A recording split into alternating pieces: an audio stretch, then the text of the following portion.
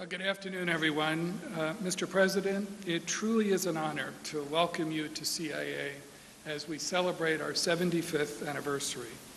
Your presence here today means a great deal to the men and women of this agency, for, with whom I am deeply proud to serve.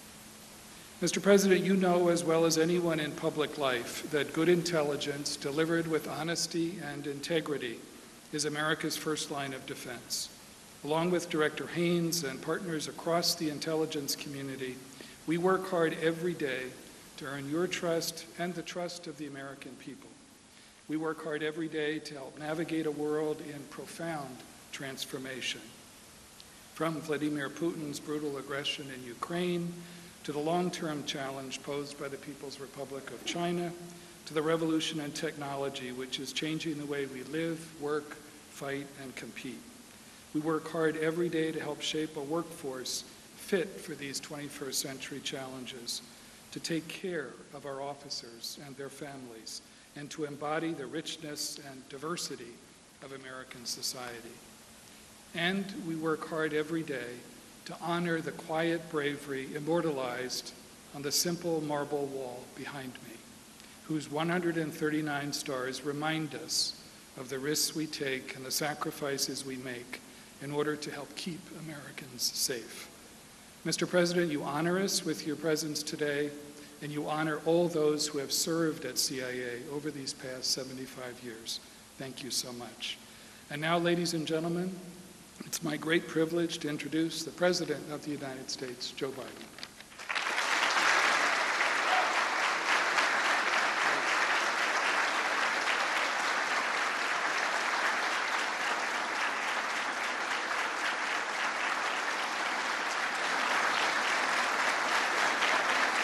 Thank you very much. Thank you, thank you, thank you. It's so good to be back. This is my third time standing before these stars to speak, and my life in public, my time in public office, and uh, and it's uh, it's a great honor. I was saying to some of the folks, and Avril's heard me say this before, along with Bill, that um, uh, I've been uh, involved with your agency for not 75 years, but, uh, but I hate to admit it, 52 years.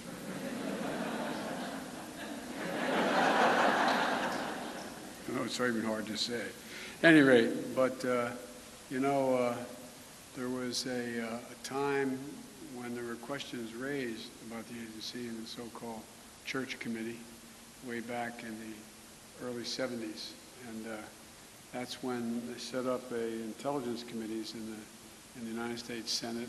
Although I know you doubt that intelligence in the Senate, but I'm, I'm, joking.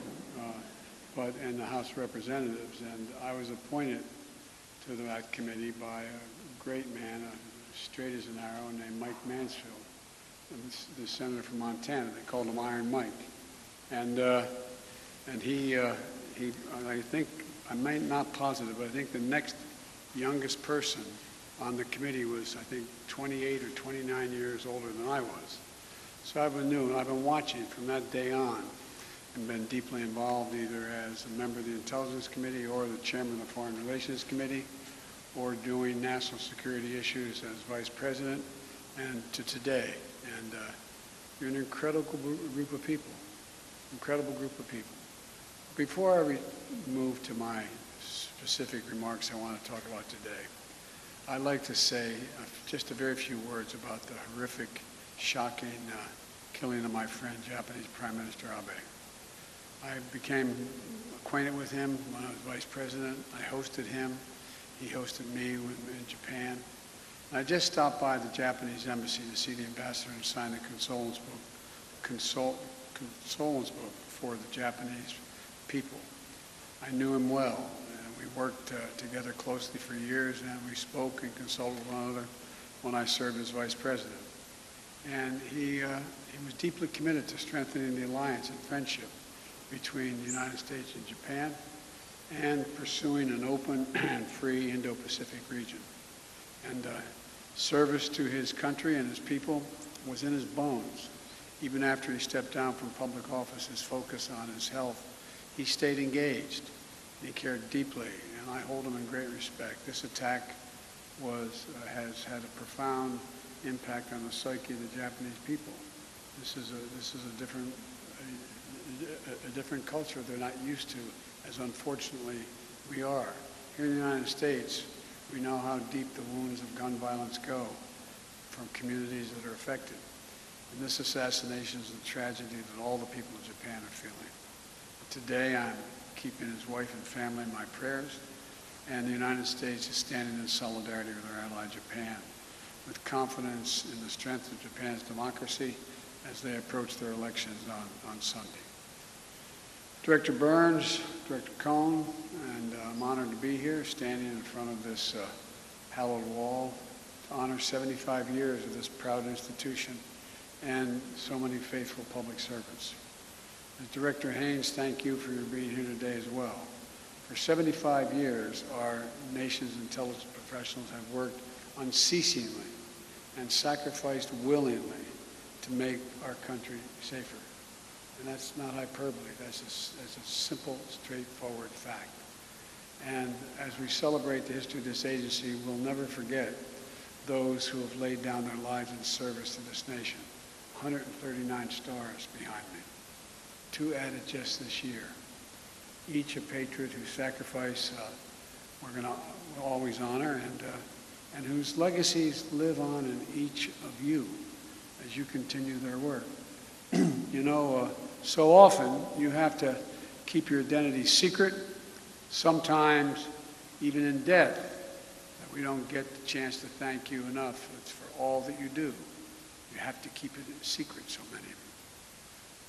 You ask for no recognition or personal acclaim, knowing that the quiet bravery of the women and men of this agency echoes loudly all around the world, and I assure you it does around the world.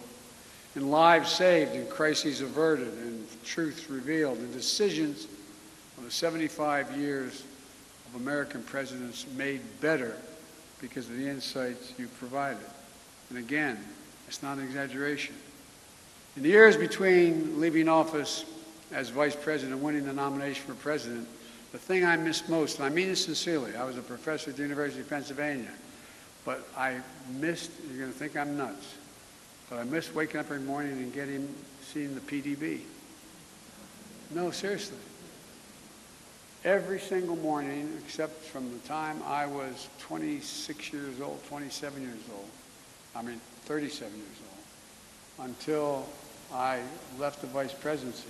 Every morning I got up and I knew what was happening around the world in, in, in detail, and in many cases in sharp relief.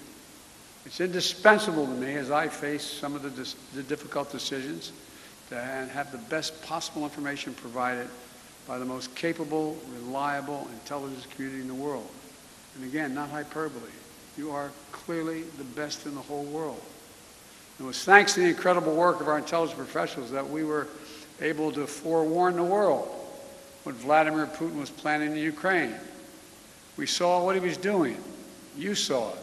The forces he was amassing, the plans he was making, exposing Putin's playbook punched a gigantic hole in the pretense and discredited his lies about what we were doing in Ukraine.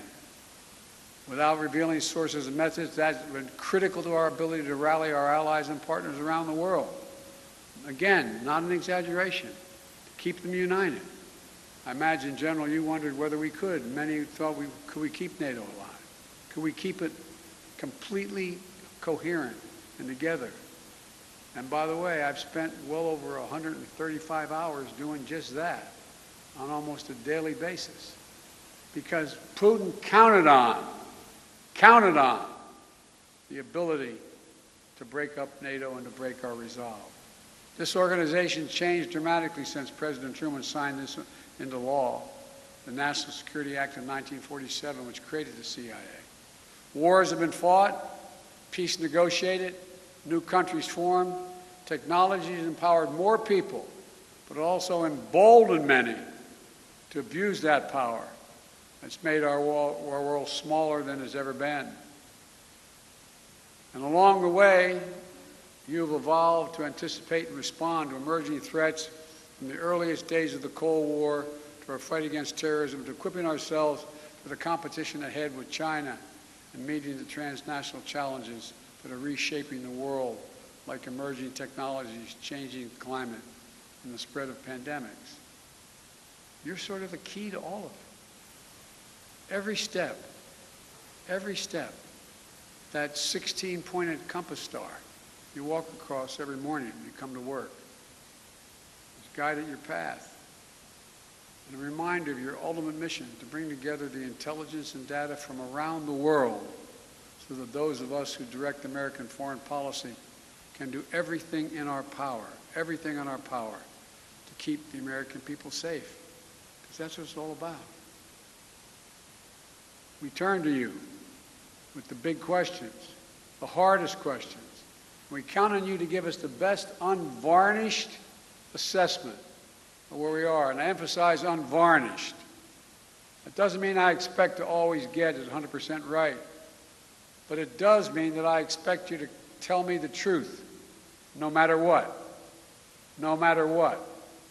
I expect each of you to honor the democratic values and ideals that form the core of our nation's strength. We're the most unique nation in the history of the world. That's not hyperbole.